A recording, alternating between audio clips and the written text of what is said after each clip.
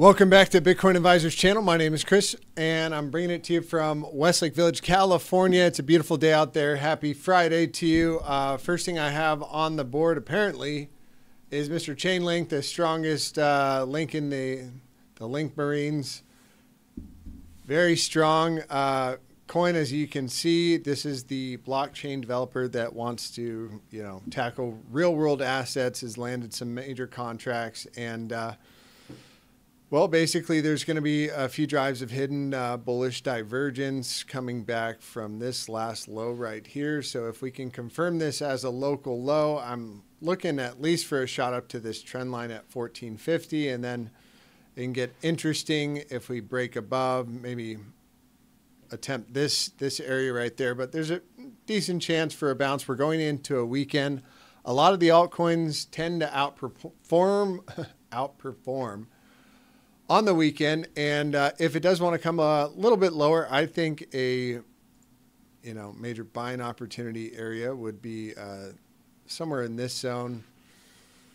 Recovering this last major volume pivot, kind of back from um, a few days ago. I think there's a lot of open interest around there. Probably going to bounce, and uh, I'm generally going to look to judge it from there. This one is on a macro breakout, as I should denote here. And, uh, you know, could get as high as 28 bucks. But um, as I'm bringing that up, I, um, yeah, in general, want to take a look at a few other altcoins. I'm going to talk about Bitcoin's price action. We'll take a look at Dixie, NASDAQ. And um, I'll save one good, you know, uh, altcoin for the end. And, uh, more more of a, a degen type play, if uh, so to speak. And um, let's jump into it. Taking a look at gold bouncing off of our last kind of bouncy area, looking for um, an attempt higher, but. I don't imagine it, a breakthrough here unless the dollar really starts to break down and uh, we have some kind of you know world catastrophe dollar up and uh, risk assets seem to be looking strong. Nasdaq breaking the trend, and um, you know what we've been saying all year long is a um, attempt at the highs and going into the election year. What what else do we have going for us? Christmas season. I don't know if that means anything, but uh, this is generally looking uh, bullish at the moment, and Dixie is uh, coming down and helping all the risk assets out. So, leading on into the bias for Bitcoin, um, when the dollar is, you know, getting heated like that to the downside, and what we've said all along as we broke out and hit the 0.5 retracement, I believe that's what it was, right there on the weekly time frame, perfectly tagged it, and we said, hey, look, as long as we're above this box, generally looking bullish. Um, however, back you know below this box, and that's where we get into trouble. So support, resistance, call it what it is, and um, just want to keep our eye on that. Also, looking at Bitcoin dominance, kind of broke out of this wedge and just maintaining the trend. You know, even though Ethereum has been outperforming over the past few weeks, I noticed Bitcoin dominance remaining strong, showing you know relative strength to Bitcoin. Um, kind of given the bias that it you know could have uh, still another push as long as we're consolidating, making the higher highs and higher lows. And um, definitely, um, you know, the longer it consolidates, especially on the daily time frame, and volatility becomes, you know, more depressed, then that does give us a shot at that upper end of the wedge here, um, up at 46,000. But I definitely want to clear this level first. Otherwise, if we start breaking down, because um, it can always come back down, you know, pretty swiftly here, especially with, you know, still relatively low liquidity in the market. Uh, pretty much a daily closure back below that 35.3 area, and it probably comes down pretty quick to that green 55. Coming in at 32.6, and then kind of next level down, level down. But generally, uh, you can see this is sideways and up. don't fight the daily downtrend or the weekly or the monthly, as they're all, um, you know, generally up and to the right right now. And still relatively low volume coming in on the monthly time frame. So we haven't had uh, an expansion candle or uh, of massive volume, at least on the BitGet uh, perpetual contracts. Let's check out Binance, where the most liquidity is. Uh, that is not Binance. Let's see. Mm. BT.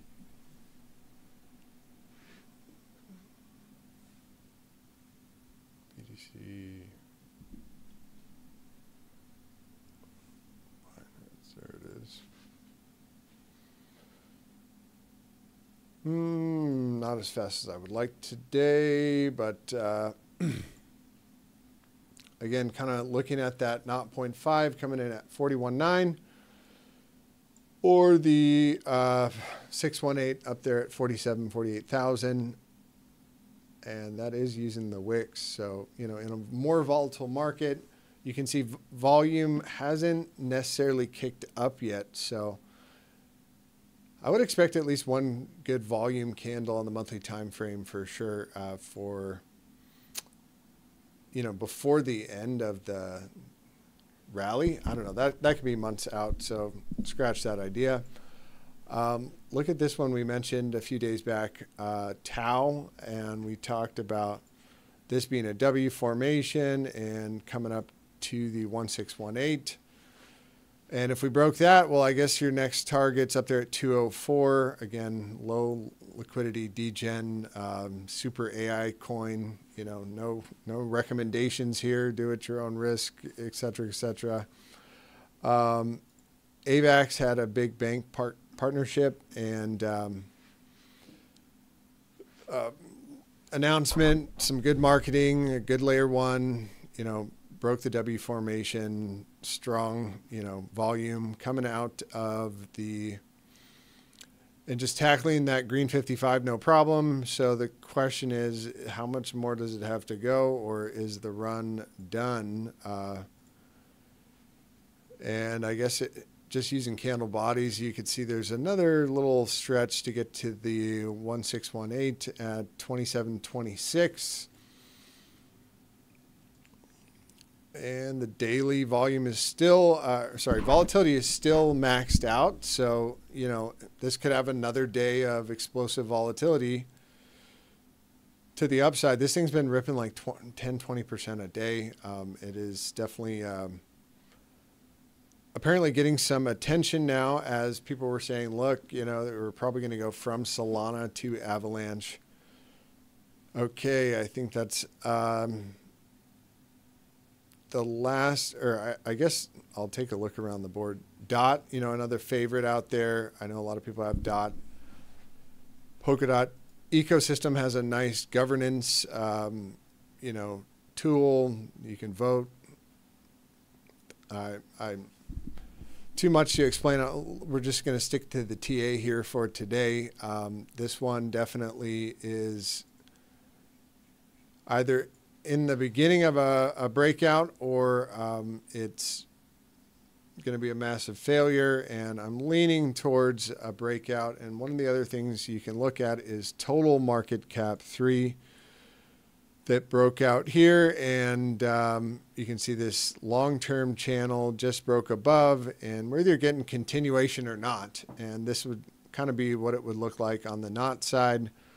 Um, obviously, you can draw that to the upside, you know, we break out, make a higher low, and keep going. And that's all the coins excluding Bitcoin and Ethereum. So that's total three. And um, generally, you know, if we want to see major upside continuation in altcoins, well, we want this to continue to the upside, not play out to the downside. Otherwise, I think we'll see a rush back into Bitcoin and Ethereum, and um, you know, we could see some massive corrections on these coins like Rune, which um, let the trend be your friend till the end of the trend. Uh, Rune, a decentralized exchange, has been just on a tear. And uh, you can see if you draw a trend line from the ultimate high, uh, you know, we're just coming into what could be a massive, um, you know, ascending triangle breakout or failure and rejection after like a 200% rally. Um, I think that's it for me today. I am going to let you go and just lastly throw up a little because um, I know a lot of people have Ethereum. We talked about a breakout here. And this massive ascending triangle, that's why it's always best to wait for the wicks, right? But best case scenario for Ethereum would be some downside um, and we come and make a higher low somewhere back there and then make the move. Do I think we're going to get the chance to buy Ethereum back down at 1700? No, but uh, just you know preparing for the opportunity if possible. Um, on the other side, um, what else? Yeah, volatility is beginning to decline on the daily, so we're getting kicked out of the bullish control zone, and um, yeah, that does look like you know, unless we pivot right now and uh, make a higher low above 2,000, it's going to look like a breakdown to the downside for Ethereum, and uh, Bitcoin is holding strong. I feel like we didn't even look at Bitcoin on the shorter term time frames. But basically, a 15 minute uh, above this wick right here at uh, 36,920, I'd be looking at an attempt at the top side of the range back at 38,000. And then, um, you know, potential from there. Um, preferably, you'd want to see a four hour closure back above this wick at 37 or 36.8. And um, that's just going to look like higher lows on the four hour time frame higher highs and higher lows. So where's the next higher high coming in at 38.2, maybe somewhere up there. Um, yep. And that is it, guys. I hope you enjoyed and have yourself a blessed rest of your day and weekend and enjoy it with your family. Take care.